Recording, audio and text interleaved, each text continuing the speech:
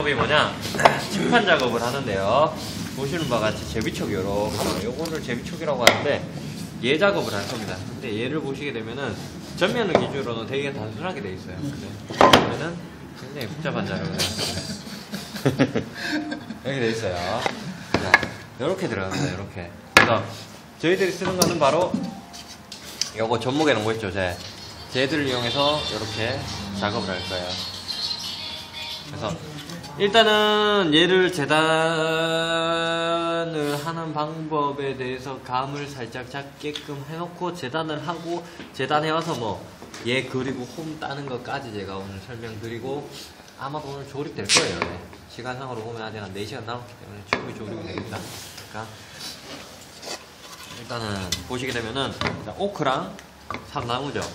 항상 앞은 오크입니다. 오크. 오크가. 가로 뒤집어 하시는 분들 있는데 자 얘를 구조적으로 보게 되면요. 제일 앞에 나와 있는 제비촉 얘 같은 경우는 이 제비 꼬리 형태를 닮았다고 해서 제비촉이라고 해요. 이렇게 나와 있는 게. 그리고 보시게 되면은 요 턱이 세 개 있죠. 음, 3단으로 턱이 돼 있죠. 이 턱을 주는 이유는 뭐냐면은 저희들이 홈을 파다 보면은 자칫 잘못하시면 어떻게 깊이를 더 파버릴 수가 있어요. 저희가 10mm 파야 되는데 잘못 파자고 13mm를 파버렸어요. 근데 얘가 만약에 통판으로 이렇게 들어가는 상태다라고 가정을 하면은 아무 생각 없이 조립하시다 보면 얘가 뒤쪽으로 3mm가 한쪽으로 쏠려서 이렇게 들어가 버리면은 앞쪽이 떠버리거나 이런 경우가 생기거든요. 그래서 이런 걸 무시하고 작업할 수 있도록 어떻게 턱을 만들자. 이게 턱자임입니다. 턱자임에 앞에 제비촉이 붙은 거. 가장 기본적인 턱자임이에요, 얘가. 그래서 지금 보시면 금괴 라인 얘는 딱 10mm까지 돼 있어요. 여기 하단을 10mm를 파시든 20mm를 파시든 30mm를 파시든 얘가 들어갈 수 있는 건 10mm밖에 안 돼요. 왜냐하면 양쪽에서 걸어주기 때문에. 더군다나 얘는 중간에 하나 더 있죠. 자, 기- 폭이 긴 작업을 하실 때에는 한 300 정도 되는 작업 내지는 400 정도 되는 작업을 하실 때에는 중간에 요 코를 한 번 더 넣어 주셔야 돼요. 왜냐하면 조립을 하다 보면은 좀 있으면 꽉 쪼오거든요.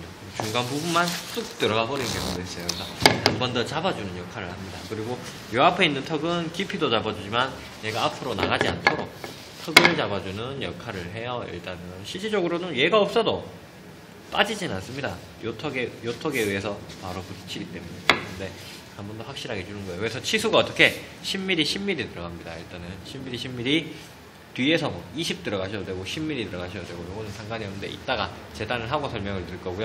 일단 이 폭에 대한 걸 설명을 드릴게요.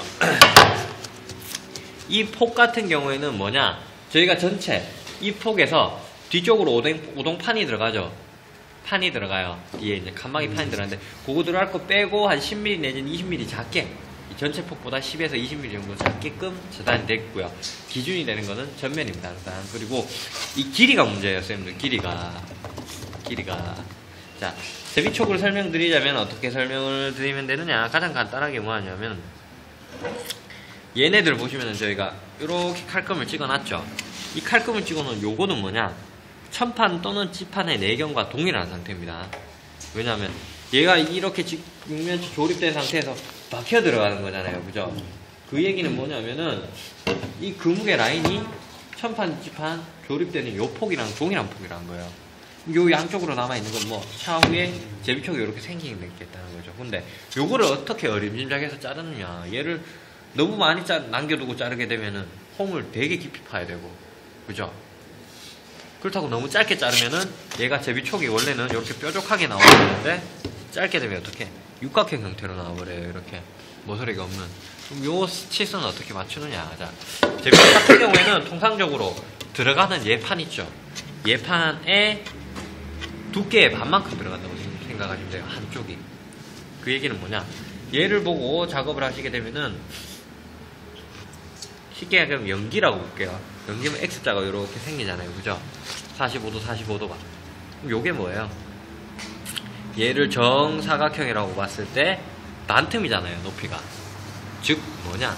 요 두께의 반틈만큼이라는 거예요. 요 두께의 반틈. 요 두께의 반틈입니다. 그래서 얘가 지금 저희가 16mm로 재단을 했거든요. 그러면은 한쪽에 8mm, 8mm만 나오면 정확하게 잘린다는 거잖아요. 근데 문제가 있어요. 뭐냐? 선생님들이 측정을 해놓은 요 내경이 그 무게 세팅하는 거에 따라서 0.5mm, 많게는 1mm씩 오차가 생기잖아요.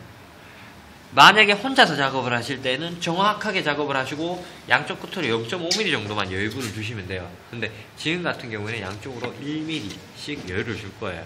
그래서 통상적으로 지금 보면은 쌤들이 평균값이 여기에서 여기까지가 그러니까 천판 또는 지판의 내경이 260 정도가 나오더라고요. 제가 봤을 때 보면은 저희들이 정재단을 하게 되면은 어떻게 여기에서 16mm를 더한 276mm를 뽑아야 되는데 약간의 오차 범위를 생각을 해갖고 양쪽의 끄트머리 기준으로 1mm, 1mm 더 넣어서 278mm를 뽑을 거란 얘기입니다. 선생님들 아시겠죠? 이렇게 재단을 할 거예요. 아시겠죠? 그래서 재단을 하고 잘라놓고 이제 작업을 다시 시작을 할 겁니다. 일단은 저건 저렇게 놔두시고요. 옷 따뜻하게 입으시고 기계실로 가도록 하겠습니다.